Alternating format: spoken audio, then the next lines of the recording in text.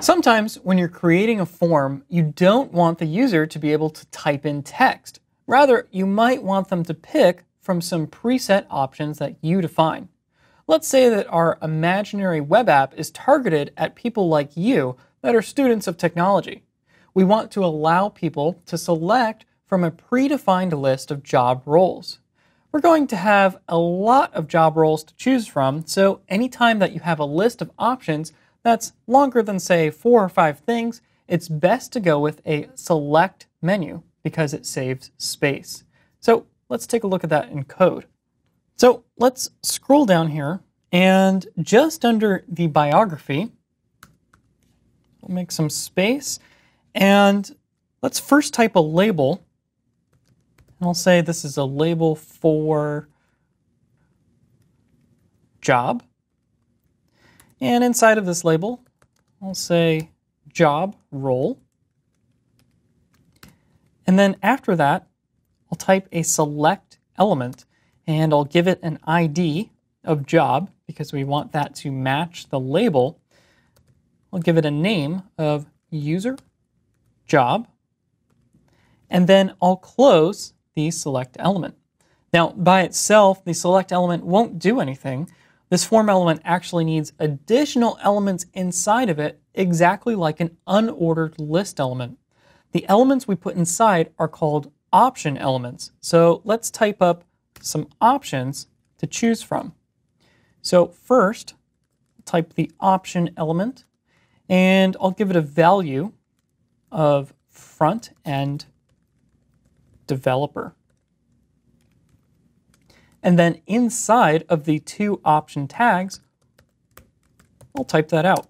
I'll say front end developer. And I'll just copy and paste this a few times because we're just going to change the values here. So instead of front end developer, let's say something like PHP developer, and then we'll say Python developer, and we can change these here as well. So we'll say PHP developer, and Python developer. And I've typed a few options here, and we're going to type several more, but you've probably noticed that I'm using an attribute called value. Now, normally, when you submit a form to server-side code, each form element has an associated value. For text inputs and text areas, that value is whatever the user types into the field. However, since we're creating these predefined options, we need to specify what the value should look like when it's submitted. So let's type up several more options. So I'll just paste that a few more times and let's say Rails developer. And we'll come back and change all of the descriptions between the option tags. So we'll say Rails developer, we'll say web designer. And let's add another one. We'll say WordPress developer. And I want to add a few mobile roles here. So we'll say Android developer, iOS developer, and then mobile designer. And then let's add two more for business, and we'll say business owner and freelancer. So now we need to change all of the descriptions between here. So for Rails developer, we'll say Rails developer.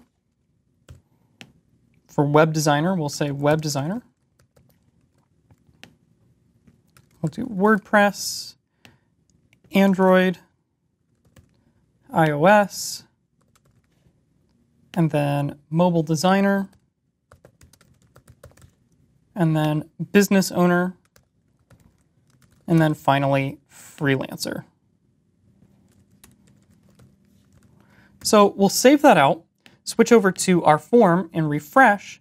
And if we scroll down here, you can see that we now have this job role label along with the select menu that we just created.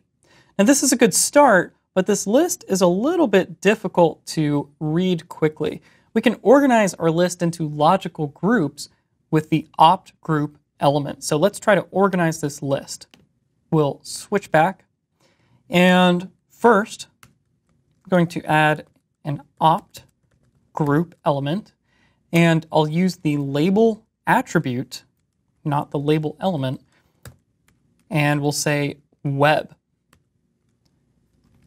So this will have an associated closing tag. And we want to wrap all of the web job roles. So let's do that. Then we'll indent all of these. We want another opt group. And this time the label will be mobile. And we'll wrap all of the mobile job roles. And then indent these. And then finally, we'll have an opt group for business.